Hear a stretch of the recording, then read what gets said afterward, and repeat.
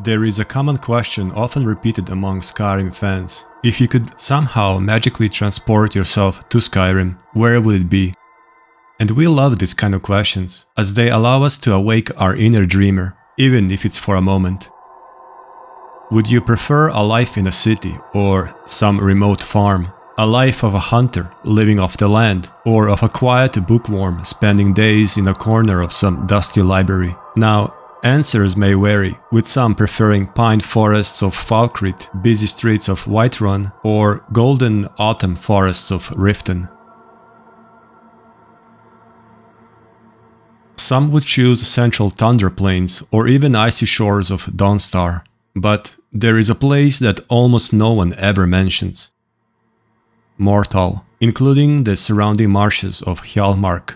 Over the years, this unlucky region became known as one of the least favorite in-game locations, and I pretty much include myself in that group. Yet here I am, talking about Morthal.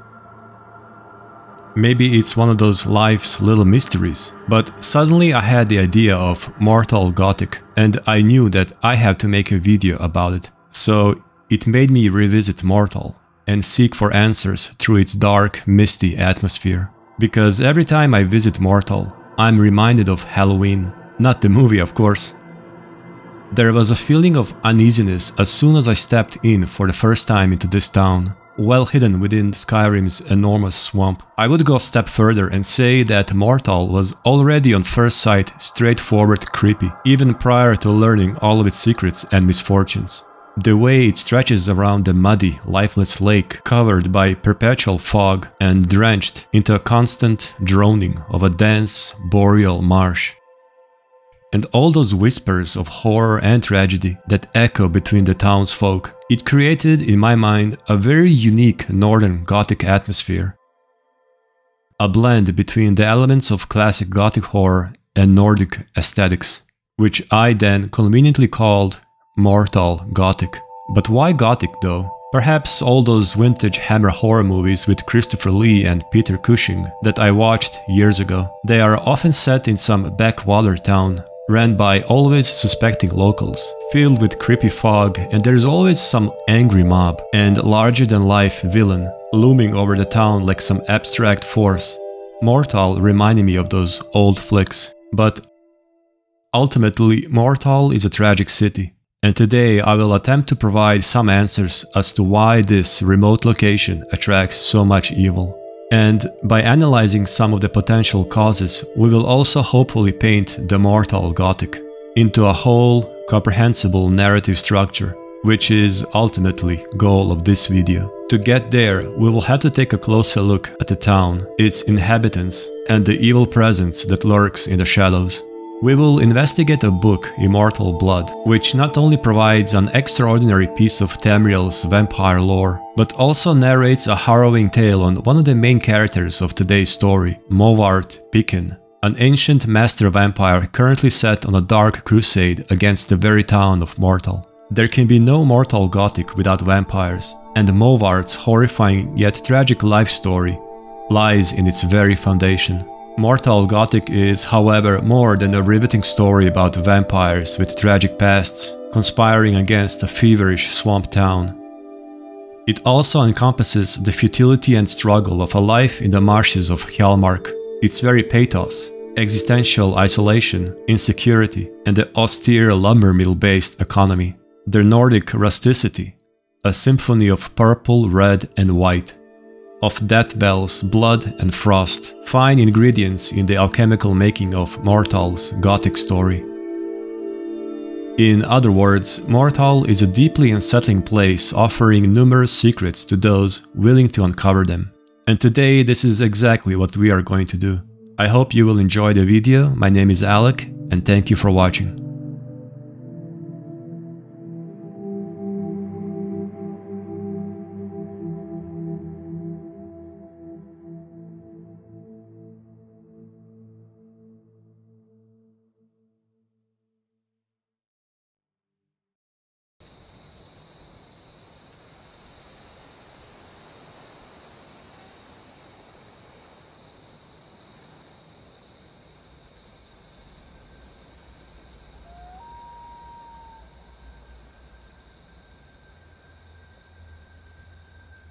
Before we begin, let's briefly discuss the elements of horror in Skyrim. For me, there are few genuinely scary moments in game.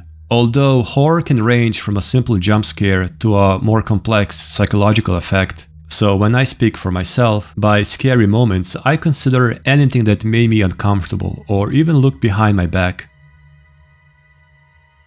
I believe that the first time Skyrim weirded me out was when I casually discovered Anise's cabin at night.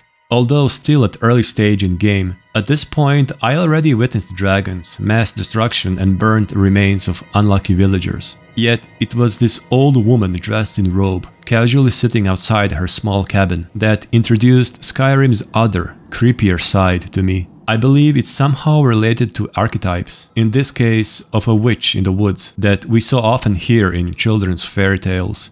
So for me it's not the brutal violence, but atmosphere and storytelling that invoke sense of fear. And I always appreciate the value of atmosphere. To me, it's one of the most important things when it comes to any kind of storytelling, including the horror. So, like I said, for myself, there are only few genuinely scary horror moments in Skyrim. And because they are so few, I find them even more rewarding. They are not there only for their shock value. And also, these moments, as much as they are rare, have the invaluable ability to transform Skyrim into a more mature, impactful experience making me more invested in its world. The tragedy of Frostflow Lighthouse is a perfect example. It's the kind of horror that doesn't rely on jump scares, but storytelling and chilling atmosphere of a family tragedy. However, my favorite creepy Skyrim moment is the one set right here, in everyone's least favorite town of Morthal. It's, of course, related to the quest Laid to Rest. And while Quest in itself is well written, it's also elevated through the setting of a remote town, thrown into a nightmarish cycle, creating for me one of the most memorable in-game moments. The way the story unravels gradually, through a path of one tragedy after another, each leading to something greater and unspeakable, lurking in the shadows beyond the marshes. It kept me invested from the first moment, never knowing what's going to happen next. It's almost as if the town itself lures me into a trap, and even though at some point I become aware of it, it's too late to turn back. And to me, that's the ideal horror. With that said, Morthal was one of the first places that I really wanted to leave as soon as possible, because, as I said before, it made me feel uneasy from the moment I stepped in, and up to this day remained one of the very few locations that made me so anxious. What about Morthal made me feel that way? In the first place, it's obviously the remoteness. And not that it's the only remote town in game, but it does have this heavy, dreadful atmosphere of abandonment. It seems so far from basically everything, so vulnerable as it hides beneath a shroud of unnatural mist. It's almost always foggy or cloudy. And what's interesting, Morthal is the only town without outdoor music. There is only this weird hypnotic ambience. And then, on a rare clear day, solitude itself is revealed through a hazy horizon, offering a glimpse of almost unreachable distance, mocking the town of Morthal below, across the deadly swamp. And turning back either eastwards to Dawnstar or down to Whiterun feels equally demoralizing, because all around are high mountains, snow-swept paths, and dangerous ruins filled with frost trolls, frost spiders, hungry packs of wolves, and plenty of more. It's as if we are stuck here, with our feet deep into the mud, surrounded with miles of fog and death, and only thing left to do is peek into the unknown.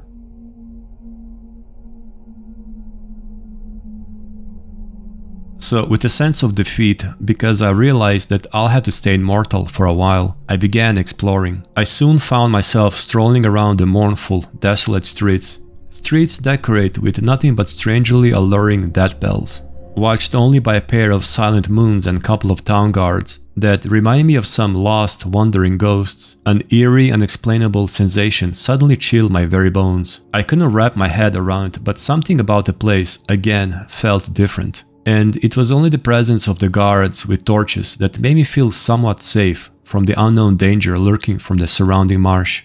And again, it's not like Skyrim is all innocent and timid game has a whole gallery of things to be at least creeped by. Clans of bloodthirsty vampires can be found pretty much everywhere.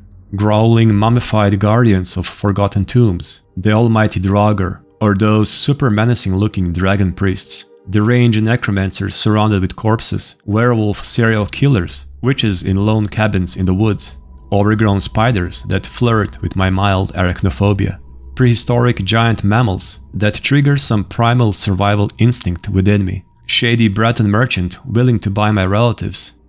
I'd even buy one of your relatives if you're looking to sell. yeah, that's, that's, that's a little joke. There are plenty of things to be scared of in Skyrim. But it all paled in comparison with the silence of Morthal and prevailing atmosphere of hopelessness. It seemed that the town itself is left on its own. Morthal reminded me of mortality and passage of time, the insignificance of common folk frozen in the gladiatory arena of senseless civil wars, foul magics, and a world hanging on the edge of cataclysm. Could even the name Morthal be related to mortality, not only of people but the world itself? So there I was, entangled in Morthal's mystically induced hypnosis, dictated by a perpetual feverish noise of the marsh. Hjaalmarch embraced me with its thick fog and drowned my senses in pure northern melancholy. On every step I heard rumors of creatures lurking beyond the marshes, hints of vampires preying on hopeless victims, of strangers with hidden agendas, family tragedies, prophets and strange illnesses. Death and sadness were simply everywhere. And as I said, it's not that common for me to feel that way in Skyrim. A game that, beyond all the supposed grimness, offers plenty of breathtaking landscapes, nostalgic, almost utopian scenes of pre-modern, medieval simplicity of everyday life, perhaps occasionally peppered with bloody skirmishes, signs of decay and cultural degradation. Yes, but otherwise, Skyrim was, and let's all agree on that, supposed to be this ideal Nordic Arcadia, imbued with a bit of old western frontier-like individualism, waiting to be explored and thoroughly enjoyed. It never goes too far, it's not supposed to. Never too dark or too scary. And even in the face of danger, no matter what it be, we are the hero, the voice-wielding last Dragonborn. We are the one left standing, walking away victoriously into the sunset. That's how the stories are supposed to end. Not immortal though. Town wrapped in such tragic aura left my character permanently scarred even after undoing all the wrongs. And honestly, I attribute this to effective writing. It may not be a popular thing to say, but I think that Morthal's overall story arc is one of the more memorable ones. I guess tragedy cuts deep and Morthal is the essence of tragedy. It might not be the best looking city, it might not offer the best services, or have fun characters ready to indulge in casual conversation. It's not built on some epic inspiring location. In fact, it's far from any of that, and that might be its charm. Morthal may as well be considered anti-town, as if it emerged from the swampy underground to offer us a glimpse of the other, dark side of life. Because of the lowlands, fog, water and deep purple flowers, Morthal has this distinguishing chthonic nature. To even enter the town, we follow the path downwards, descending from the main road, again as if we are descending into the underworld, realm of shadows. And on the horizon, celestial towers of solitude stretch far high as if belonging to the skies, reaffirming the deep, earthy character of Morthal. With that said, I was always a fan of stories involving small, underappreciated towns, shrouded in mystery, suspense, and tragedy. Morthal obviously fits this category perfectly, and adding all the intricate layers of horror over it, we have ourselves a true Morthal gothic story.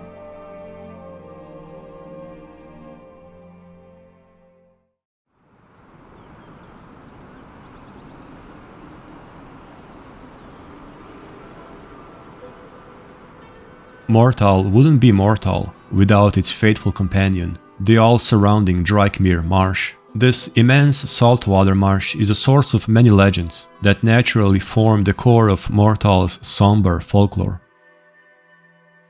It is not only implied that people regularly disappear beyond Drajkmyr's eternal mist, but it's in a way accepted as being part of a daily life perhaps even undertaking a form of Morthal's collective unconscious ritual, a ritual of offering. It is accepted and given that some will have to be taken by the marsh. One of the oldest legends that speaks of this is of the Pale Lady, a Wisp Mother. For generations, the people of Morthal have told whispered tales of the Pale Lady, a ghostly woman who wanders the northern marshes, forever seeking her lost daughter. Some say she steals children who wander astray, others that her sobbing wail strikes dead all those who hear it. But behind these tales may lie a kernel of truth, for ancient records speak of Aumriel, a mysterious figure Ysgramor's heir battled for decades and finally sealed away. Wisp mothers are sirens of the northern marshes, ethereal, ghostly apparitions who lure unsuspecting travelers to their doom and steal children who stray away from home. Pale Lady or Aumriel is indeed found in game to the east of Morthal, sealed within the Frostmere crypt, possibly built by Atmorans for this specific reason. Now, scholarly opinion on Wisp Mothers is divided. A book, The Wisp Mother, offers few possible explanations of their origin. Some consider them to be remains of ancient Falmer sorcerers who once ruled Skyrim, or types of lichdom attained by the necromancers of the First Era cultures. And there are even theories that categorize Wisp Mothers as elemental beings, akin to ice rats or spriggans, manifestations arising out of Nirn itself. Whatever may be, an image of these ancient ghosts of sorrow wandering through the mists surrounding Morthal is definitely one of my favorite Morthal Gothic elements. There are, however, more dangers lurking in Drajkmyr. Human-hunting frost spiders crawling beneath the twisted branches of dead trees, hiding in thorny bushes ever so patiently. Serpentine ice rats descending from the frozen mountain peaks, hovering and twisting above red, muddy waters. And even the poisonous, mostly cave-dwelling Chaurus seems to feel at home here. To my knowledge, this is the only open land area where Chaurus can be encountered, as they prefer darker and deeper habitats. One of the symbols of Morthal and Hjaalmarch is a death bell flower. Common in swampy areas, this plant is one of the very few reasons to step into the dangerous marsh. Many daring alchemists seek death bell for their potent poisonous effects, but very few manage to return alive. Herbalist's Guide to Skyrim has this to say. Folklore abounds about this flower, found in the swamps of Hjaalmarch. Some stories claim it grows where unfortunate deaths have taken place. Others insist it grows first and then lures unsuspecting people and animals to their doom. All things considered, that bell truly found its place among the symbols of Morthal. It's honestly one of my favorite flowers in Skyrim, at least design-wise. I kinda prefer deep blue and purple plants that contrast snow-covered Skyrim.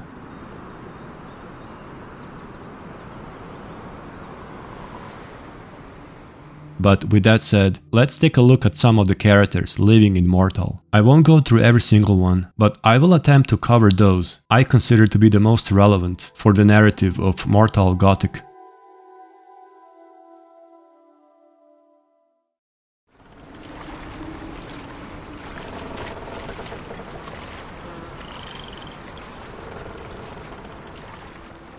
Meet Jorgen, a brooding Nord lumberjack who runs the only mill in Morthal.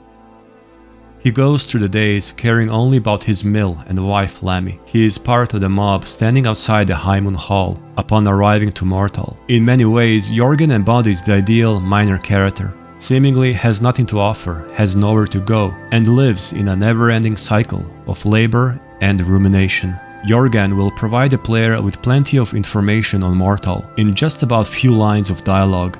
The mill is my responsibility, and that's what I care about, that's all, understand? Trust you saw the house that burned down. Peculiar bit of business that was. And that's on top of noises from the marsh in the night, tales of monsters, and now this wizard in our midst. What's a man to do if he can't look to his Jarl for help? A rumor about the recently burned house, tales of monsters in the marsh, express his negative disposition towards the recently arrived wizard and Jarl's inability to control the situation.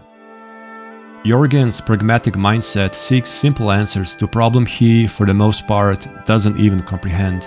He, as expected, doesn't trust outsiders and wants to be left alone within his micro-universe centered around the lumber mill.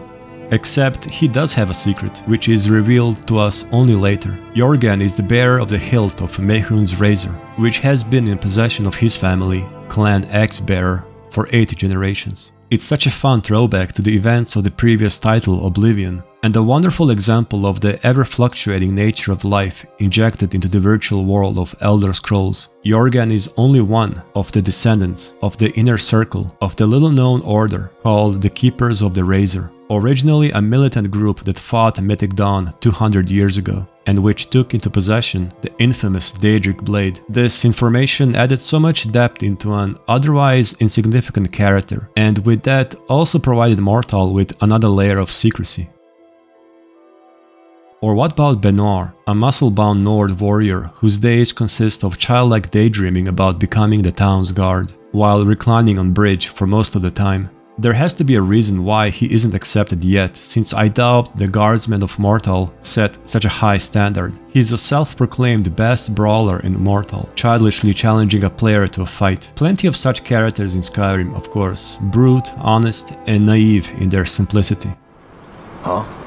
As soon as we arrive in Morthal, we will hear whispers about a burned house down at the edge of the town. It's Morthal's biggest rumor, a terrible tragedy that befell Morthal and serves as an introduction into a dark and twisted quest line known as Laid to Rest. It begins as a family tragedy, extremely sad but without suspicion of any supernatural involvement. A mother and a child named Helgi were killed in the fire, while Helgi's father, Hrogar, survived, as he can be seen still working around the mill. However, the unusual part is that Hrogar immediately moved into another woman's home, and by that I mean literally next day. Let's hear what Yona, Morthal's innkeeper, has to say about that.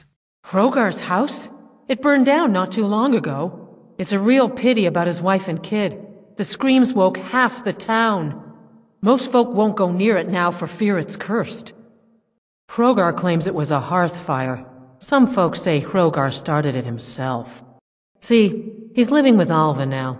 That started the day after the fire. It ain't right moving in with a new love the day after your kin die like that. We also learned that Jarl Idgrod is ready to pay for any information regarding the incident. Hrogar will mostly act as if nothing happened. If asked about the burned house, he has this to say. That's true, but I'm in a new house now, a better house. But what about your wife and child? Yeah, that was a shame. But now Alva takes care of me and I take care of her. Yeah, that was a shame. In other words, Hrogar moved on pretty quickly and doesn't seem to miss his tragically lost family. Which is why, as we heard from Yona, some suspect that he's the one who started the fire, just so he can be with Alva, his new girlfriend. Thonnir is another lumberjack working at Jorgen's mill and self-confessed poor man trying to make a living. He is quiet and can be often seen staring into the foggy distance, lost in thoughts. As it turns out, his wife, Laelette, is yet one of the latest people to have disappeared from Morthal, and he suspects that she in fact abandoned him and their son in order to join Stormcloak Rebellion. At least this is what Alva told him, and that of course turned out to be not true at all, as we shall see later. But I think that was enough to draw some conclusions regarding the local commoners. Characters of Morthal are miserable and stick to themselves, as if burdened by their existential insignificance. There's no value except maintaining the cycle of eternal return. Day after day, the same swing of the axe, same song in the tavern, same fantasy revisited, same painful emotion experienced. As long as the dream continues, life goes on towards the unknown. As we dialogue with various inhabitants, we are unwillingly pulled into their small town nihilistic bubble. Yet, Jorgen's or Benor's trivial reflections are only sketching a rough outline of Morthal's true anguish and serve as mere entry into the town's more intricate passages of character studies.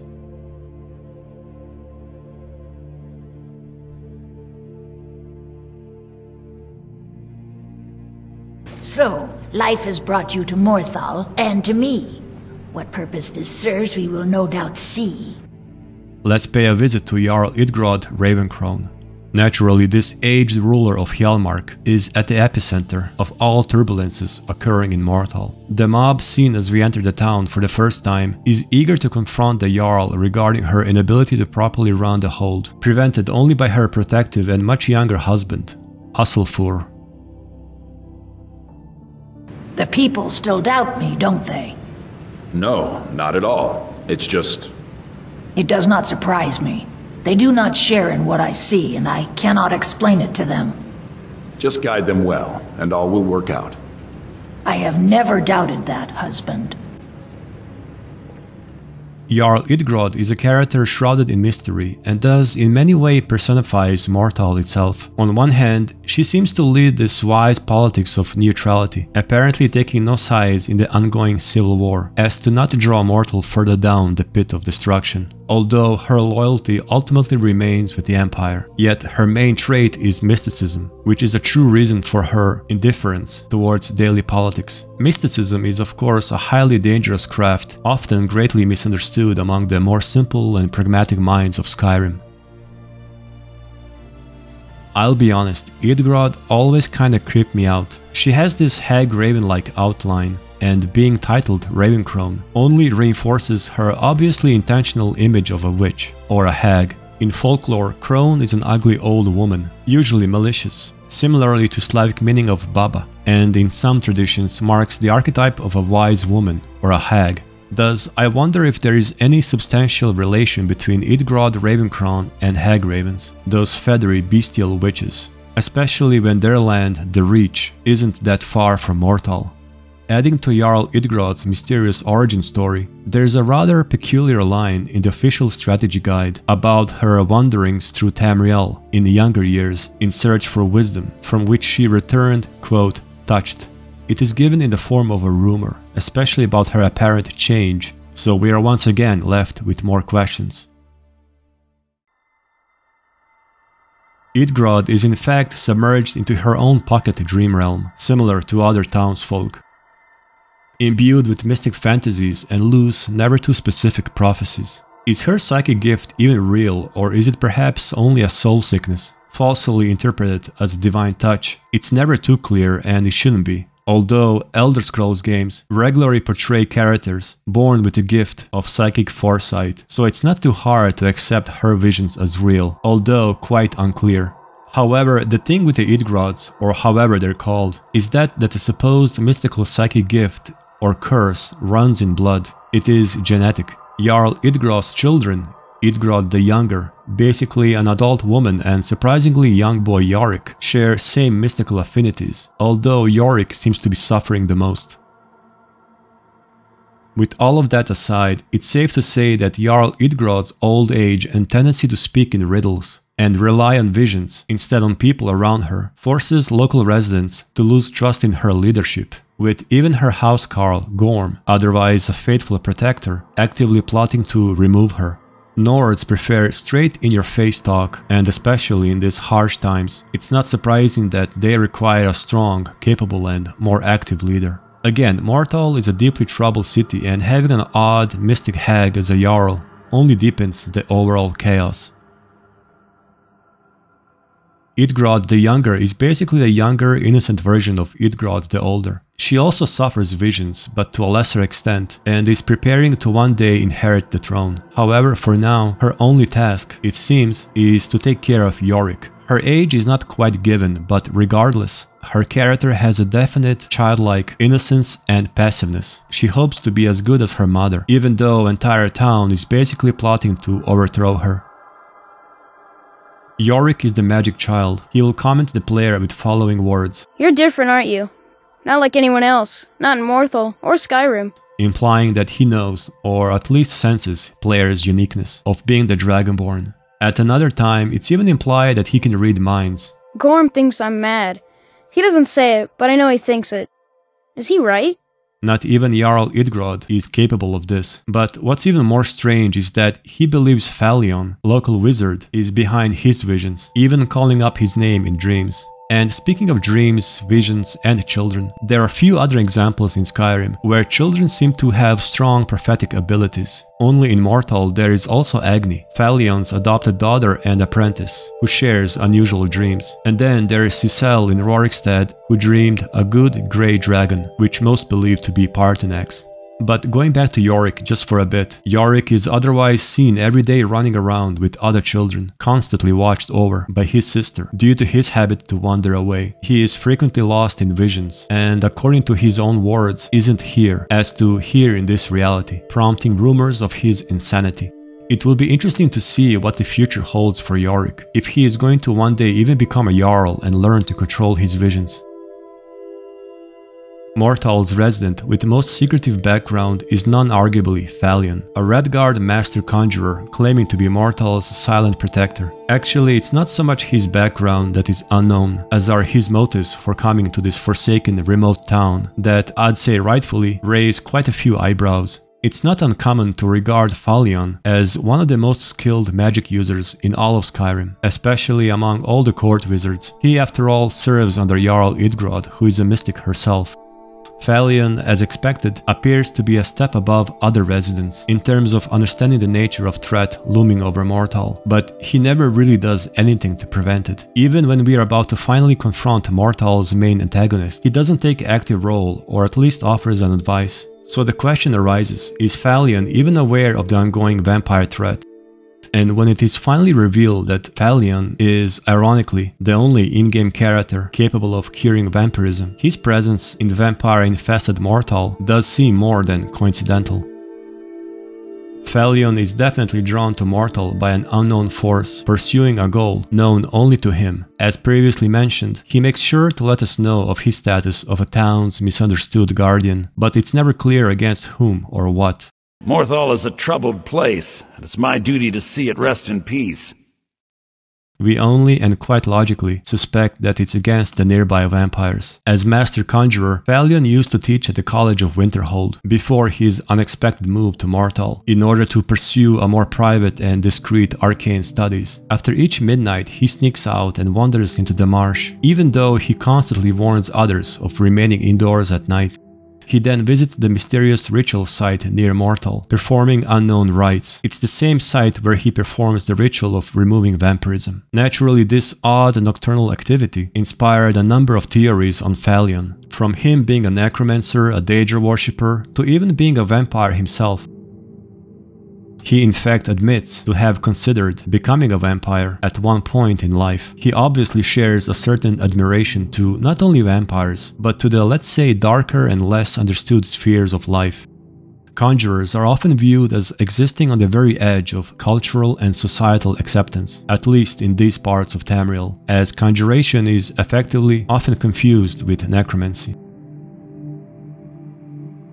Falion's unusual and undefined placement within Morthal's storyline, to me however, only adds to the overall mystique. Is he a friend or a foe? A child eater, as some townsfolk seem to suspect, or a grim but ultimately benevolent figure that watches over Morthal from the same shadows as the evil he is supposedly crusading against?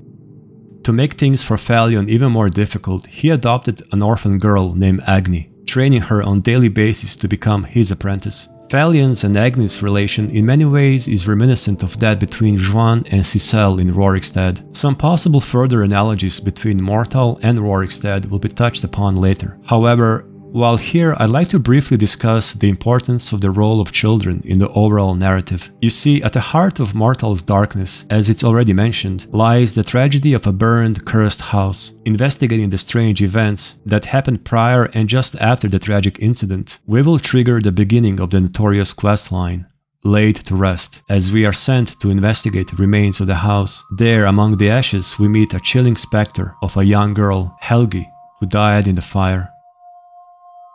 I will speak for myself when I say that witnessing the ghost of a child turned the whole narrative into something far more sinister. Children in Skyrim have this very unique status. They are essential and unkillable, for many obvious reasons, keeping Skyrim relatively family friendly. Yes, there are world-ending dragons, a brotherhood of assassins, worshipping an abstract demonic entity that communicates through a mummified remains of a woman and whatnot, but children are safely nested outside any danger through careful game mechanics. Remember when I said that there are few truly horrifying moments in Skyrim, and because of that, they are much more rewarding? Same goes for Skyrim's children. There are very few moments when we are faced with their own mortality, and those moments are really effective. Examples that I can remember right off the bat is that werewolf serial killer in Falkreath, or again, the Frostflow Lighthouse, and this one right here in Morthal. Again, these moments are truly rare, but even so, successfully add to Skyrim that always needed weight of grim realism. The people here work so hard, and they never allow themselves a moment of fun. It's such a pity. It won't last forever, though.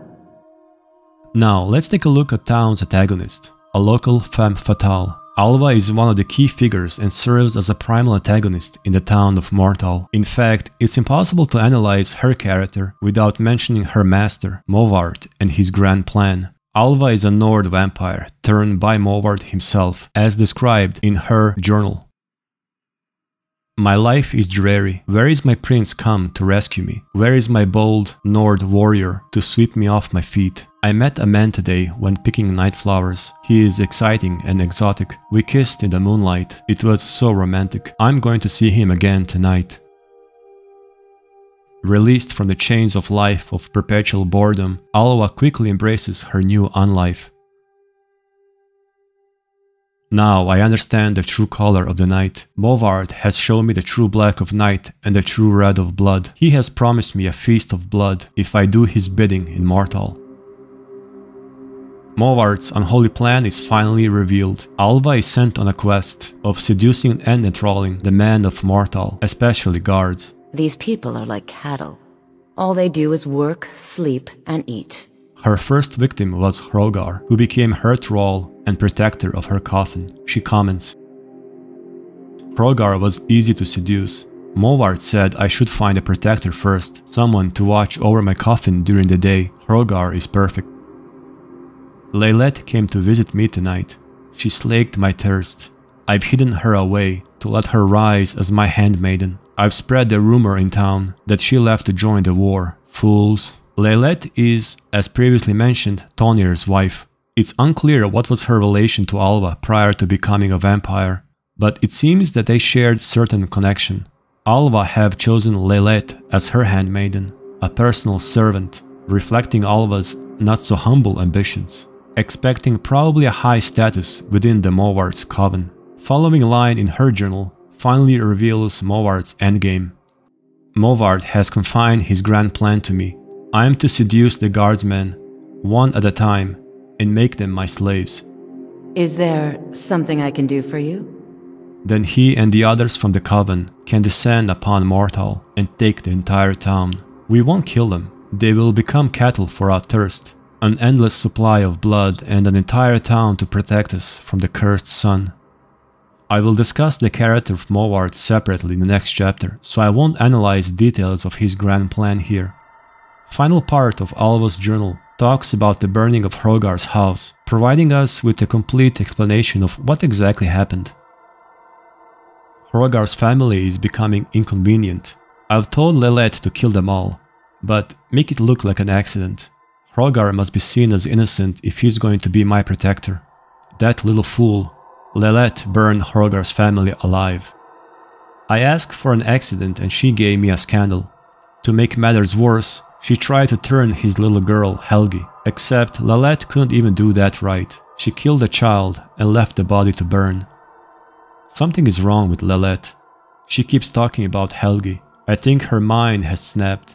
She seems to think that the child can still be brought back to be her companion. There is a stranger in town looking into the fire. I'll have to be careful. Alva is that character in every vampire story who not only willingly embraces vampirism, but pretty much brags about it in front of the unsuspecting people. The people here work so hard, and they never allow themselves a moment of fun. It's such a pity. It won't last forever, though. Why, good evening, Yana. What can I get you, Alva? What can't you get me, sweetie? Um, did you want something to eat? Eat? No, I don't think I'm hungry. Not now, at least. Right. Okay. Uh, tell me if you change your mind. As a way of mocking them, just how would a highly dangerous predator mock its prey before the onslaught? I hardly doubt that vampirism drastically changed her character and opinion of others. She regards people of Morthal, and possibly people in general, as mere cattle, in literal sense as her food, but also as slaves to the never-ending cycle of work and sleep, which she always found utterly monotonous and uninspiring. Alva was caught picking night flowers in the middle of the night, as if almost inviting a sinister force through this unusual nocturnal activity. More specifically, a vampire to take her away. This night flower is almost certainly nightshade, a highly poisonous flower that commonly grows around graveyards and is generally avoided by common folk. Laelette, who was supposed to be Alva's handmaiden, couldn't handle vampirism in the same manner as Alva. When ordered to kill Helgi and her unnamed mother, she burned the entire house, causing all kinds of rumors and attracting even more attention. At the sight of Helgi, who was about to die in fire, something snapped within Laelette and she became obsessed with the child, possibly even out of regret, so she tried to turn her into a vampire. However, it was too late and Helgi died soon after. And finally, we have little Helgi, perhaps the most tragic character in the entire storyline. We encounter her as a ghost, standing in the corner of her former home. When asked what happened on that tragic night, she will answer with this chilling reply. The smoke woke me up. I was hot and I was scared, so I hid. Then it got cold and dark. I'm not scared anymore. But I'm lonely. Will you play with me? She then invites us to play hide and seek, in exchange for information of who set the fire. Okay, let's play hide and seek. You find me, and I'll tell you. We have to wait for nighttime, though. The other one is playing too, and she can't come out until then. Helgi mentions the mysterious other female who also wants to play, but who can't get out till the nighttime. We are to find Helgi before the mysterious figure. And to find Helgi, we need to visit her grave, located not far behind the house. However, there will be someone else as well. This is, of course, a mysterious figure who also wants to play. And it is Laelette, a first vampire encountered in Morthal, standing next to Helgi's undug grave, apparently still believing that a child will arise as her companion. Laelette seems to have been completely insane at this point, probably caused by guilt, especially for taking young girl's life. I always found ghosts or spirits of Elder Scrolls, and especially in Skyrim, somewhat strange, even a bit eerie. They seem to occupy a thin line between the worlds of the living and dead, a liminal space through which they seem to be partially aware of their surroundings. For instance, Helgi will sense our presence in the house, but she won't know who we are exactly. Majority of ghosts encountered in Skyrim are here due to some unfinished business, it's a standard fantasy or a horror trope, so to speak. Helgi also mentions being tired, and it's believed that ghosts in general do feel uncomfortable in the world of living. Helgi's constant tiredness could mean that her soul is being pulled away into Aetherius. However, she is kept here, immortal, by some unknown force. So, speaking to ghost characters always felt to me like speaking to dream images of their original living selves. They do have a dreamlike quality, being half aware, drifting through memories and world around them, as if they are guided by some invisible divine hand. Discovering Helgi for the second time at her own grave will lead to confirmation that Laelette was truly forced against her will to burn down the house and kill Helgi and her mother, which is why she tried to save Helgi by turning her into a vampire as well. She's dead, he's speared. Thonnir will suddenly arrive at the scene, implying that he most likely patrols around Morthal each night in search for his wife. He will obviously be shocked to see Laelette as a vampire, and will eventually point us towards Alva as the main suspect. I never got to tell her goodbye.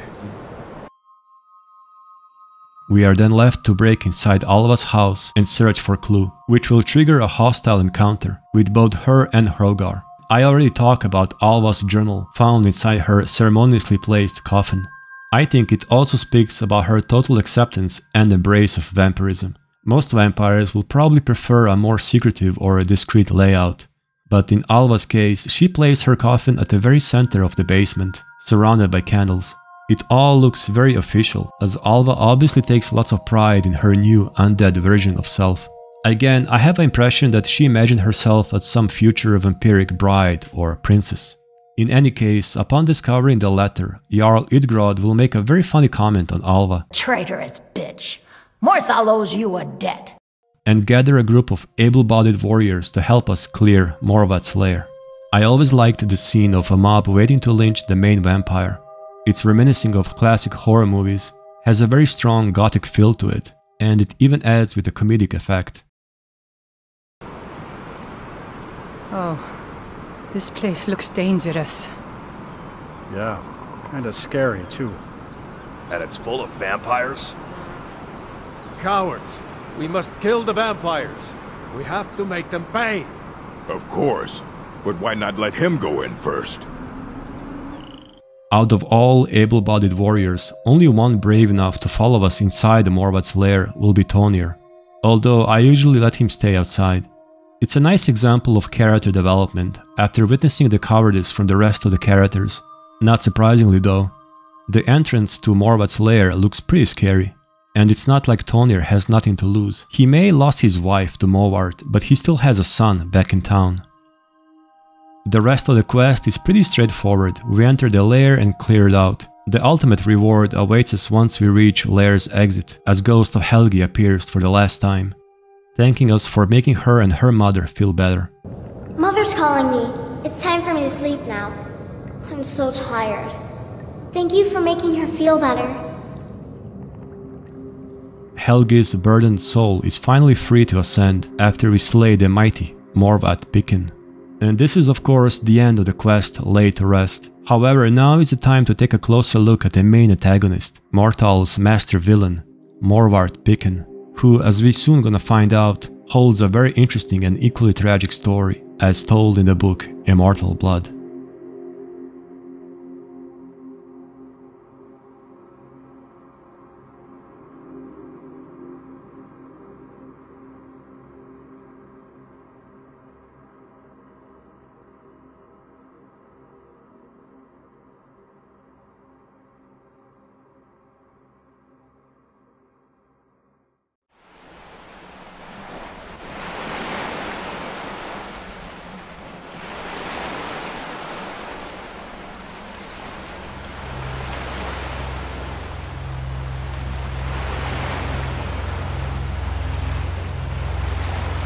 Immortal Blood is authored by anonymous vampire and narrates a story of famous vampire hunter Movarth. It's honestly one of my favorite books and there's no better way to start the analysis of Movarth Piquine than reading the full story.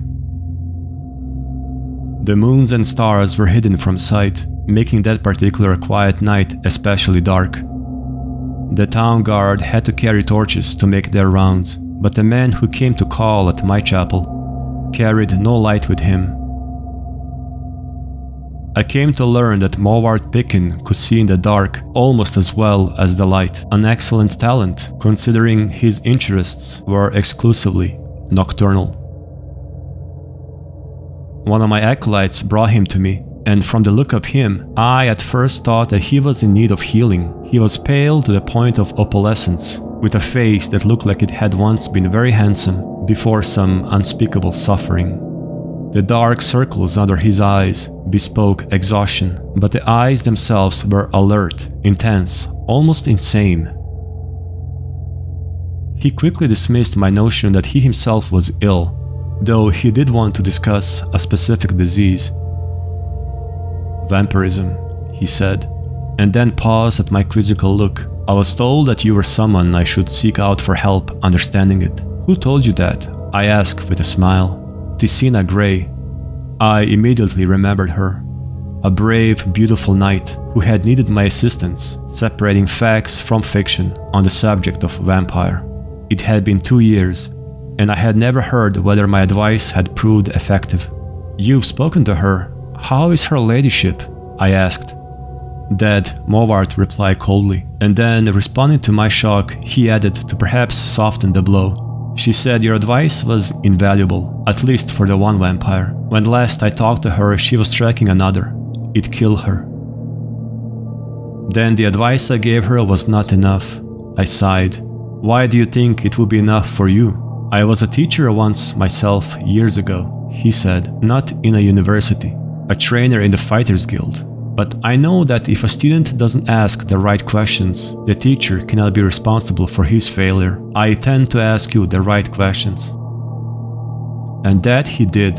For hours he asked questions and I answered what I could. But he never volunteered any information about himself. He never smiled. He only studied me with those intense eyes of his, committing every word I said to memory. Finally, I turned the questioning around.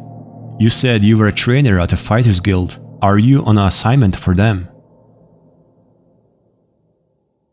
No, he said curtly, and finally I could detect some weariness in those feverish eyes of his. I would like to continue this tomorrow night, if I could. I need to get some sleep and absorb this. You sleep during the day? I smiled. To my surprise, he returned the smile, though it was more of a grimace.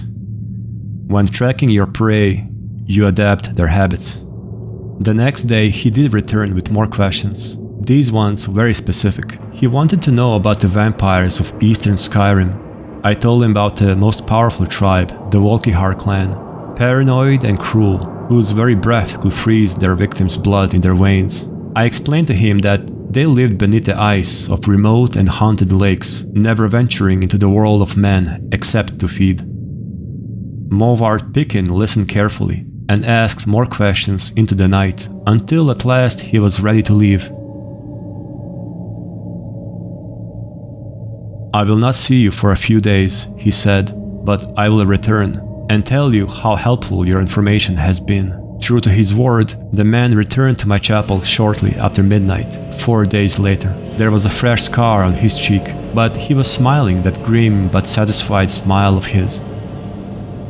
Your advice helped me very much, he said, but you should know that the Volkihar have an additional ability you didn't mention. They can reach through ice of their legs without breaking it. It was quite a nasty surprise, being grabbed from below without any warning. How remarkable, I said with a laugh.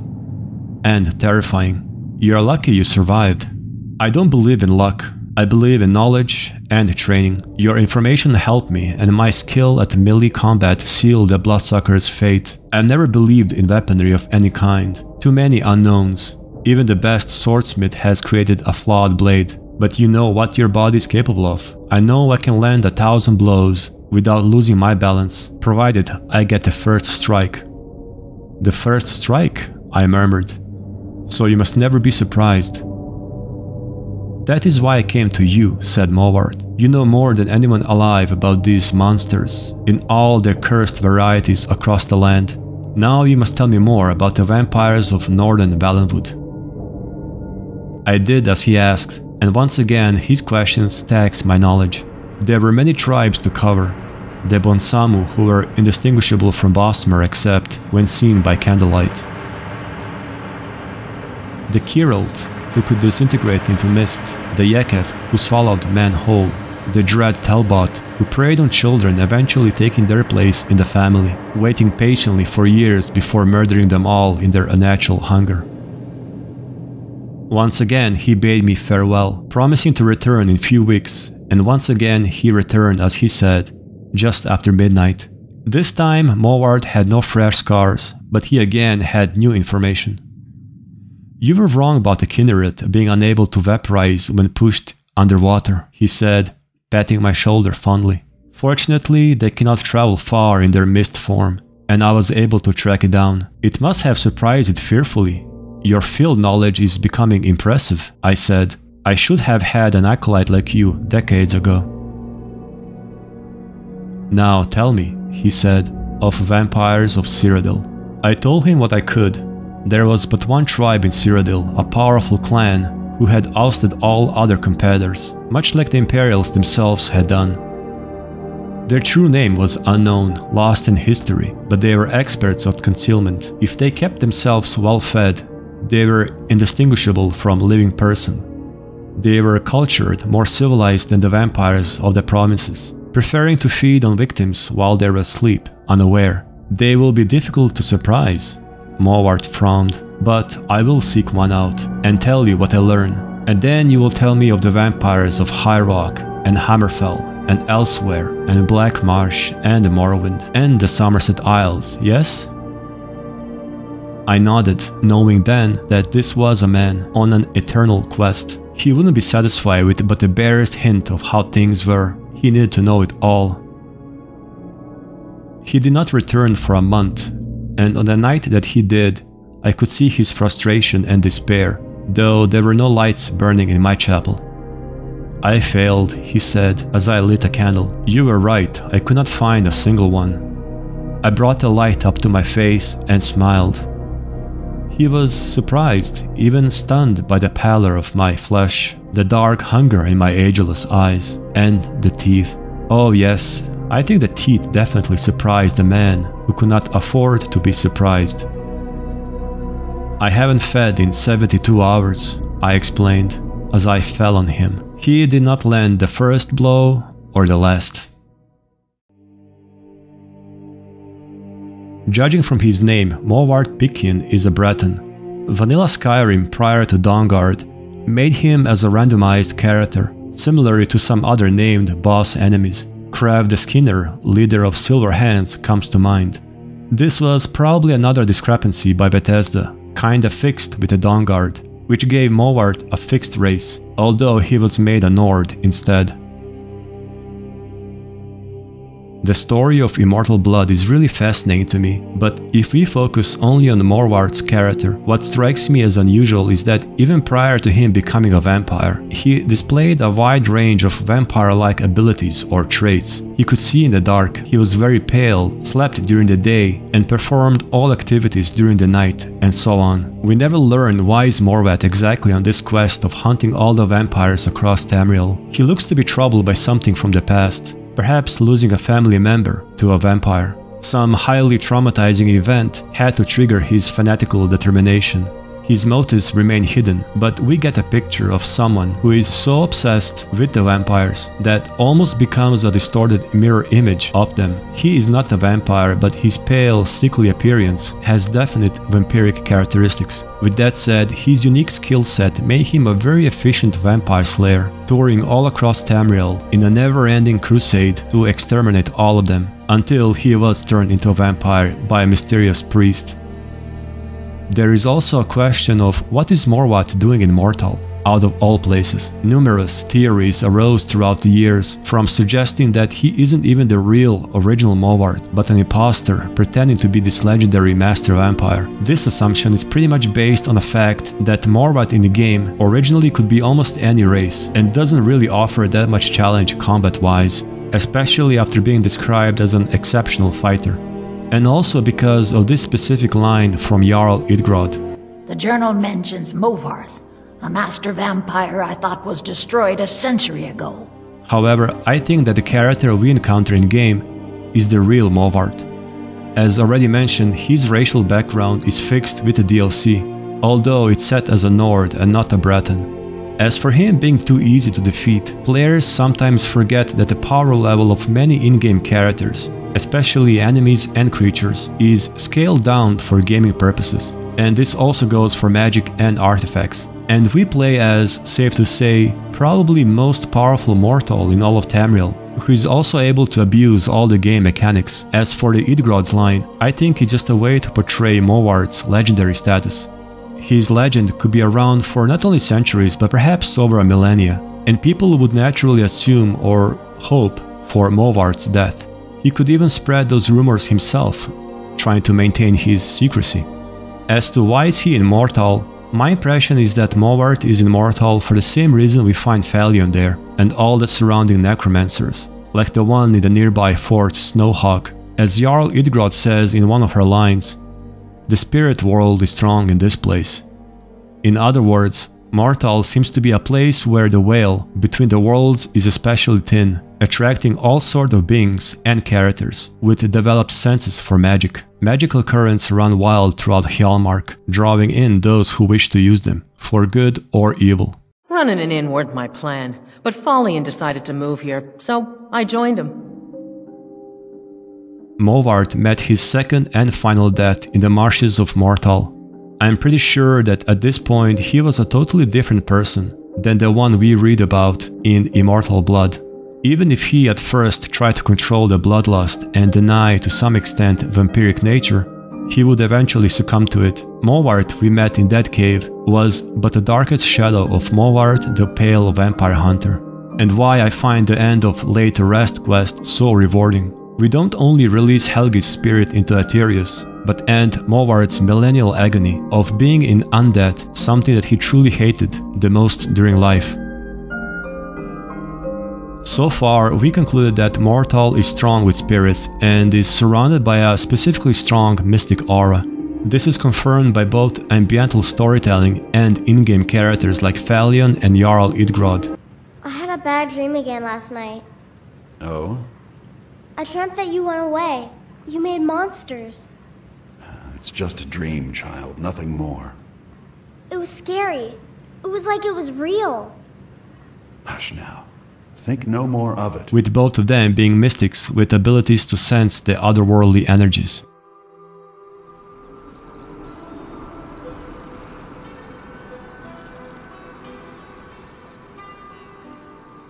The source of Morthal's mystical aura could be the swamp itself, or perhaps even Karth river flowing from the Reach, carrying in its waters traces of the hidden magic practiced in those lands.